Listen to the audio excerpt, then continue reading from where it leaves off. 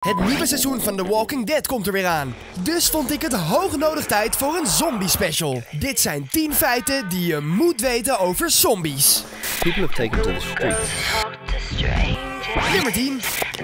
In 2012 heeft Vladimir Poetin toegelaten dat Rusland mag werken aan een zombiegeweer dat de hersenen kapot kan maken door middel van microgolven. Deze gun zorgt ervoor dat je oogballen uit elkaar knappen en je centrale zenuwstelsel totaal verlamt. As darkness came, Op nummer 9. Filmregisseur Lucio Fulci gebruikte dakloze alcoholisten als extra zombies. Hij had deze mensen omgekocht met goedkope drank. In Romero's Night of the Living Dead aten de extra zombies rauwe diereningewanden voor toevoeging van de authenticiteit. En dan op nummer 8.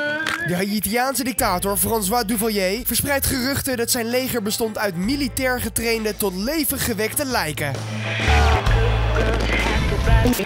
Tonton Macoute, wat werd gevormd in 1959, verbrandde slachtoffers levend of stenigde ze tot de dood. Nummer 7. Wetenschappers hebben in 2005 honden opgewekt die voor drie uur dood waren. Voordat hun bloed langzaam opnieuw opwarmde en hun hart weer begon te kloppen, werden de honden ingevroren met een zoutoplossing. As in Jen. Op nummer 6. Mike, de kip zonder kop, overleefde voor 18 maanden zijn onthoofding in 1945.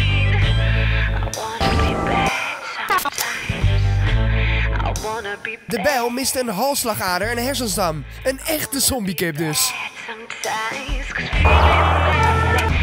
Op nummer 5. In de wereld van The Walking Dead wordt het woord zombie geen enkele keer uitgesproken. In deze serie praten ze namelijk over walkers.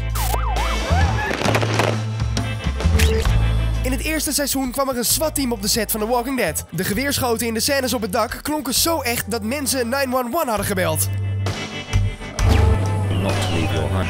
Op nummer 4.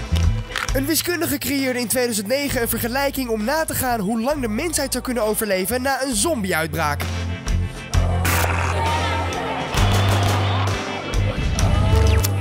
Als er een infectie zou uitbreken in een stad van 500.000 mensen, dan zou het voor de zombies drie dagen duren om de overlevenden te overmeesteren. Op nummer 3. In 2013 maakte wetenschapper zombiecellen die beter presteren dan menselijke vleescellen. Siliciumdioxide gekoten replicacellen konden extreme hitte en druk overleven die de levende cellen dood. Door nummer 2. In 1980 verscheen de Haitiaanse man Clavius Naché nadat hij 18 jaar eerder stierf.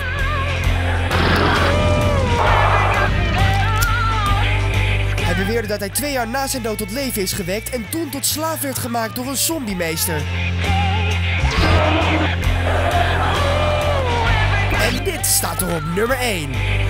De Amerikaanse regering heeft in 2011 een gedetailleerde zombie-apocalypse verdedigingsplan gemaakt. Het plan is een echte noodsituatietraining en daarin staat dat de Verenigde Staten in een extreme situatie alle burgers kan vernietigen.